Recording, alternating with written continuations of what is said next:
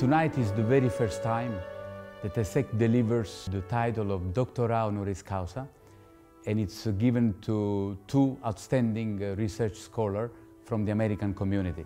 We decided to deliver uh, these awards because we definitely believe in academic excellence, which is one of the main values of ESSEC. We would like also to inspire our faculty.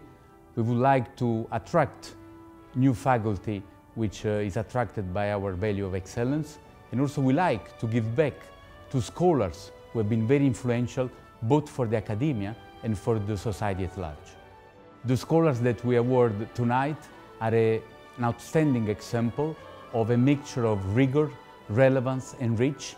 They have a very rigorous uh, research output and methods. They are very relevant in the research they are able to develop, relevant to the companies, to the economy and to the society as a whole, and rich in terms of uh, disseminating the results of their research and helping other scholars to develop their research as well as companies to develop their own.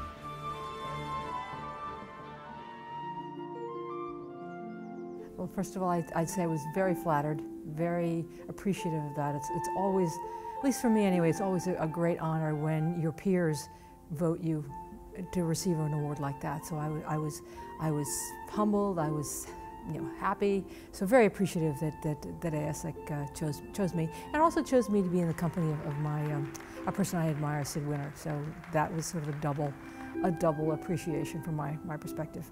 I was uh, very surprised to be told that I was receiving this honor, and then even more surprised when I learned that it was in fact the first time that ESSEC had been uh, uh giving such degrees. And I was really very flattered and uh, honored that my colleagues at ESSEC would uh, do this and offer me this recognition uh, at this point. And I was also very pleased to be uh, here with Professor Eisenhardt, who has many uh, interests in common with me and, uh, and works on subjects in a way that I admire very much.